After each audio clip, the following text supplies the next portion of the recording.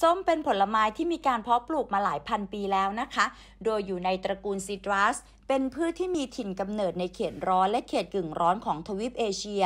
รวมไปถึงในหมู่เกาะมาลายู ส่วนในประเทศไทยก็มีหลักฐานเป็นรายงานที่กล่าวถึงส้มชนิดต่างๆ คือส้มโอ ส้มแก้ว และมะกรูด โดยเป็นรายงานที่มีต้นฉบับเป็นภาษาฝรั่งเศสแปลและจัดพิมพ์เป็นภาษาอังกฤษ เมื่อปีพุทธศักราช 2236 ค่ะ ส้มถือเป็นผลไม้ที่มากไปด้วยคุณค่า ดังนั้นในวันนี้เราจะมาดูสรรพคุณของส้มกันค่ะ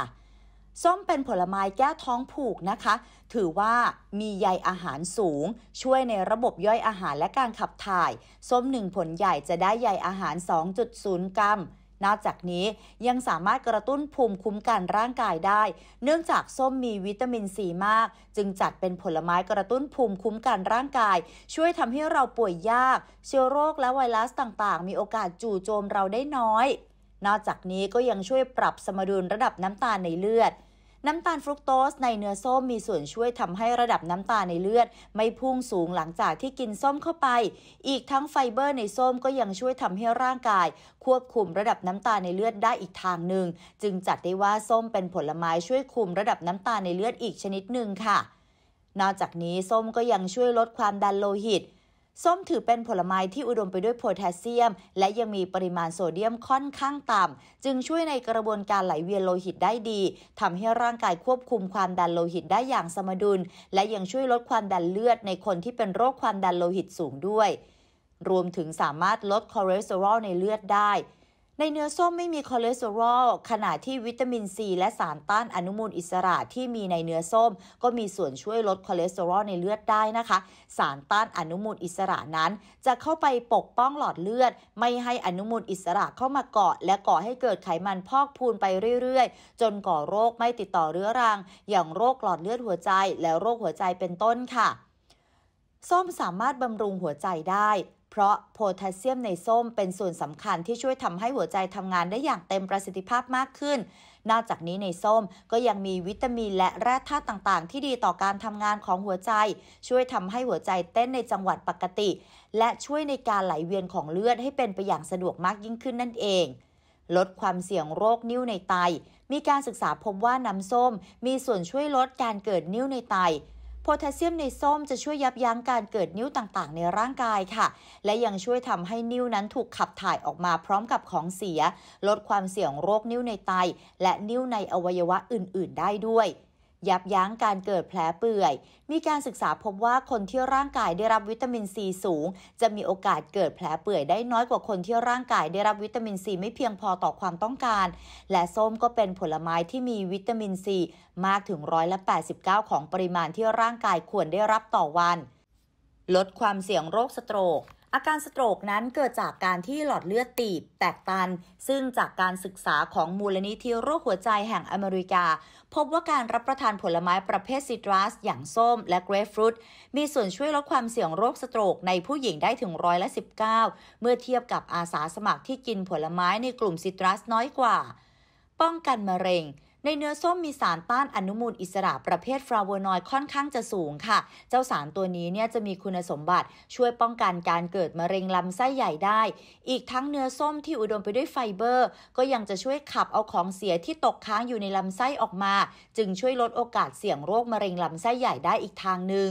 นอกจากนี้ก็ยังมีการศึกษาพบว่าสารซิตรัสในส้ม สามารถต้านการเกิดมะเร็งช่องปาก มะเร็งผิวหนัง มะเร็งปอด มะเร็งเต้านม และมะเร็งกระเพาะอาหารได้ด้วย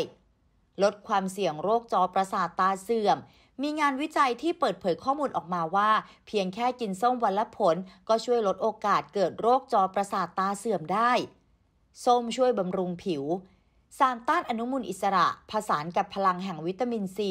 มีส่วนช่วยในการปกป้องเซลล์ผิวจากการถูกแสงแดดทำร้าย ปกป้องผิวจากมลพิษ ช่วยลดการเกิดริ้วรอย และช่วยบำรุงเซลล์ผิวให้แข็งแรงทำให้ผิวดูกระชับตึงมากขึ้น เนื่องจากวิตามินซีเป็นสารตั้งต้นของคอลลาเจนนั่นเองค่ะ ถึงแม้ส้มจะมีประโยชน์ต่อสุขภาพหลายประการนะคะ แต่ว่าก็มีข้อควรระวังในการกินส้ม ที่อยากจะให้คุณผู้ชมทุกท่านใส่ใจกันด้วย นั่นก็คือถึงแม้ว่า เราจะรู้สึกว่าส้มเป็นผลไม้แล้วมีประโยชน์มากมาย แต่เราควรจะเลือกกินส้มแบบผลมากกว่าน้ำส้มนะคะ เพราะถ้าหากเรากินน้ำส้มอาจจะมีส่วนผสมของน้ำตาลเพิ่มขึ้นมา แล้วทำให้เราพลาดโอกาสในการได้รับกากใยอาหารอีกด้วย สำหรับผู้ป่วยเบาหวานเอง ก็ควรต้องจำกัดปริมาณการกินส้มไม่ให้มากจนเกินไปค่ะ นั่นคือต้องไม่เกิน 2 ผลต่อวัน เพราะถึงแม้ส้มจะช่วยควบคุมระดับน้ำตาลในเลือดได้ แต่ว่าการกินส้มมากจนเกินไป ก็อาจทำให้ร่างกายของเราได้รับน้ำตาลมากเกินไปด้วยเช่นเดียวกันผู้ป่วยโรคไตก็ควรจะหลีกเลี่ยงการรับประทานส้มนะคะ เพราะว่าส้มเป็นผลไม้ที่มีโพแทสเซียมค่อนข้างสูง อาจจะส่งผลทำให้อาการไตกำเริบได้ เพราะฉะนั้นตอนนี้ลองมาดูประโยชน์ของเปลือกส้มกันบ้างดีกว่า เรารู้กันอยู่นะคะว่าส้มมีวิตามินซีสูง แต่ในส่วนของเปลือกส้มจะมีใครรู้บ้างคะ ว่าเปลือกส้ม มีวิตามินซีสูงกว่าผลส้มเกือบ 2 เท่า แล้วก็เป็นแหล่งรวมแร่ธาตุต่างๆ ทั้งโพแทสเซียม แมกนีเซียม วิตามิน B2 วิตามิน A ที่สำคัญในเปลือกส้มปริมาณ 100 กรัมเนี่ยยังมีแคลเซียมสูงถึง 161 มิลลิกรัม ซึ่งก็มากกว่าเนื้อส้มในปริมาณเท่าๆกัน ที่มีแคลเซียมอยู่ประมาณ 40 มิลลิกรัมเท่านั้น เปลือกส้มมีคุณประโยชน์ดีๆ กับร่างกายที่เราคาดไม่ถึงดังนี้ค่ะ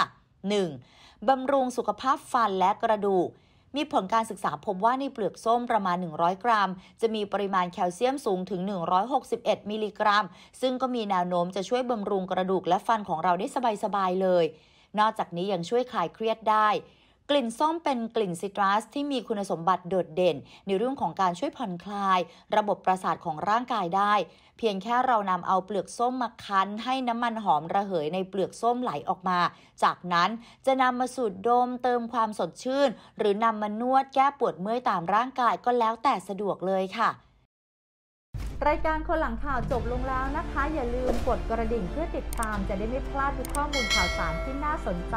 นอกเหนือจากนี้เรายังมีอีกหลายแพลตฟอร์มช่องทางออนไลน์ให้คุณผู้ชมได้ติดตามค่ะ ไม่ว่าจะเป็น Facebook แอปพลิเคชัน TikTok Instagram และ Twitter เพียงแค่ค้นหาคำว่าคนหลังข่าวเท่านั้น คุณผู้ชมจะไม่พลาดทุกข้อมูลข่าวสารที่น่าสนใจ และทันสมัยอย่างแน่นอน ขอบคุณสำหรับการติดตามรับชมรายการค่ะ